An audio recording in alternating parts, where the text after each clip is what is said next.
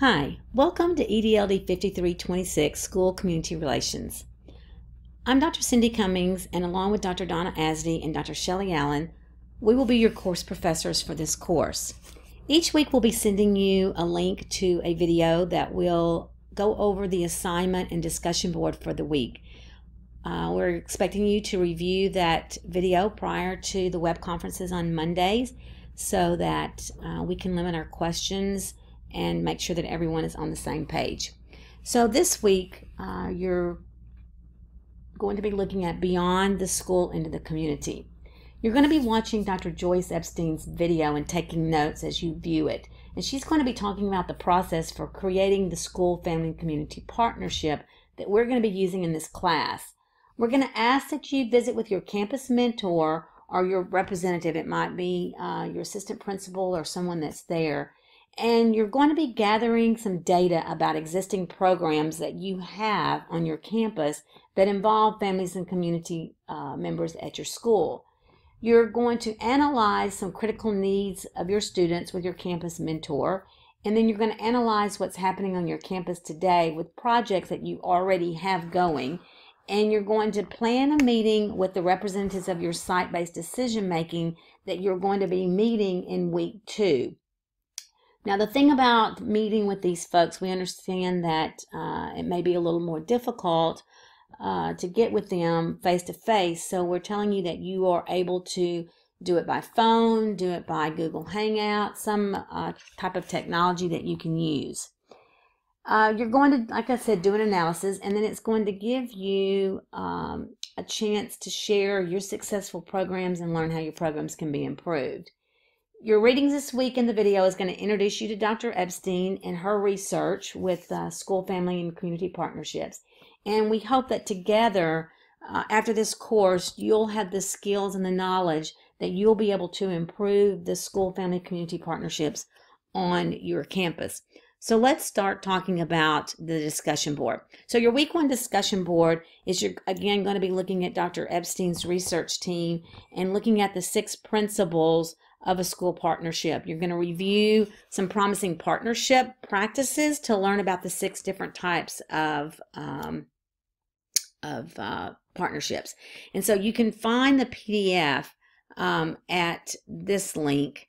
Um, this is you can go here, and if you click on this link, it will take you to um, Dr. Epstein's website, and then you can also uh, look for success stories, or you can just go to this link and there's a PowerPoint, uh, excuse me, a PDF, and you'll just click on that PDF.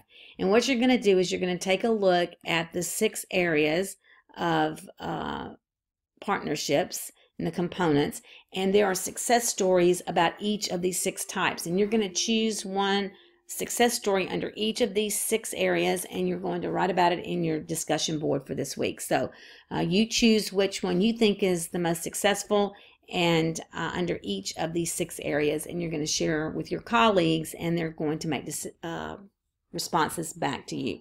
So you will have um, your initial response and some and then you'll have your um, responses to your colleagues. All right, let's talk about week one. So uh, the overview of week one is that schools can and do uh, influence how your community supports the school and how it interacts with the school. You've got parents, you've got other family members, you've got businesses, all those uh, external stakeholders who interact with the students and the school personnel. And because research shows that the family community involvement has such a positive impact on student learning that we really need to be focusing on how do we increase all levels of community involvement. So in week one, you're going to be taking a look at two of your current school, family, and community partnerships their goals, their levels of participation, what kind of impact they had on student learning, and any kind of uh, aspects that uh, either permit, prevent or promote their success. You're going to meet with your campus mentor and uh, or someone who uh, you can meet with this week to discuss those. You may have a school uh, partnership uh, director on your campus. Your assistant principal may be in charge of that. Uh, there may be someone else other than your mentor that you'll want to to meet with. And so, um, as you meet with your mentor or the representative, you're going to be thinking about what did this partnership accomplish? Who were the partnership stakeholders? What were the goals of the partnership? Um, how what community resources were used? Um, how did the partnership uh, get the required uh, resources and approvals? Who led the program? Who also was involved? How did you communicate information or how did your school communicate information about the partnership to all stakeholders? Um, what other people and organizations were already working on this issue? How much time did it take to establish the partnership? What steps were uh, taken to establish and launch the partnership?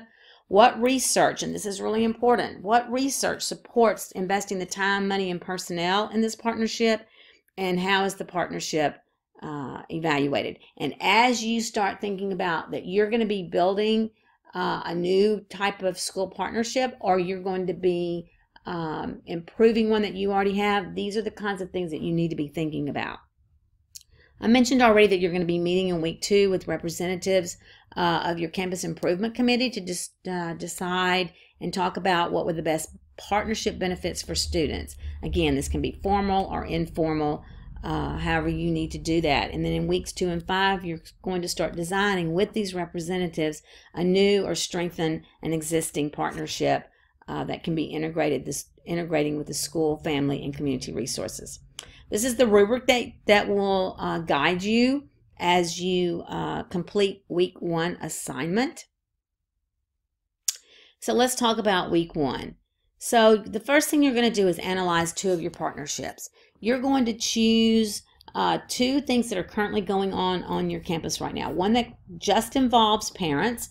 So that might be something like donuts with dads or muffins with moms, uh, something that would be just involving the parents. And then you're going to look at one that involves the larger community. So it could be something like um, a health fair, or it could be something like a spotlight on your campus where you bring the whole community in to, uh, for students to present this the work they've done. It might be a science fair uh, something like that that would involve uh, the low the larger community. And this is going to show uh, student needs that were addressed and who's involved in the program. And then we're going to complete a SWOT analysis. That's talking about the strengths and weakness opportunities and threats on each of the partnerships that you have to analyze.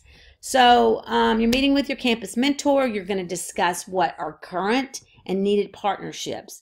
Uh, you're going to look at school data uh, so that you can look at what might be some improvements or some successes.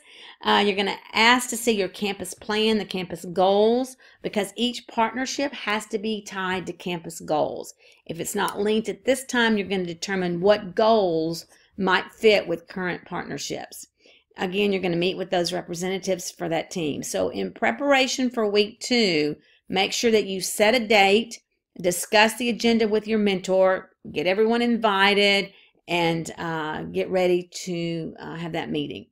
So, part one, what you're going to be doing is you're going to be looking at your program name and description. So, if you say um, this was uh, Donuts with Dads, uh, you can talk about how uh, the description would look like in the mornings before school. You invited all the dads to come and have donuts with their uh, children.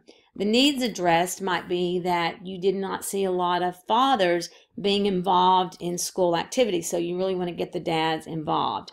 So, the level of participation, you can say, well, uh, our personnel, we had um, all of our teachers were there and our school administrators. For the family, you might say, um, you know, we had 50 dads show up. In the community, you might, you know, you could say we had two or three people. And then what was the impact on student achievement? So you'll talk about, uh, you know, the personnel, the families, and the community. How did that impact student achievement? You'll do the same thing for your larger community. So if this were a focus on uh, your school, you'll talk about the needs addressed where that you needed the community and the uh, parents to come into the school and see what the children were doing. Again, you'll talk about personnel uh, level of participation, and then you'll talk about the impact on student. And then you'll talk about which program most effectively involves your family, school, and community of those two, and which one provides the most support for your school's partnerships.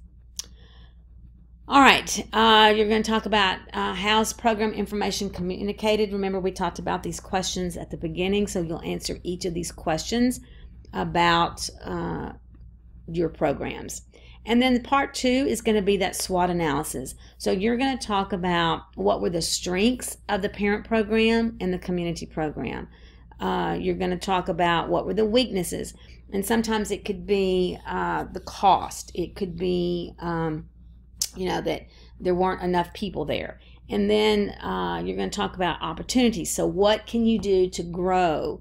Uh, how can you involve new people? How can you get new funding? Those kinds of things. And then the last piece of this is the threat. So, what people or factors threaten the success? Was it that we didn't have enough money? You didn't have enough participation? You didn't have uh, a strong leader in the community? Those are the kinds of things that we're looking for. So, that is week one.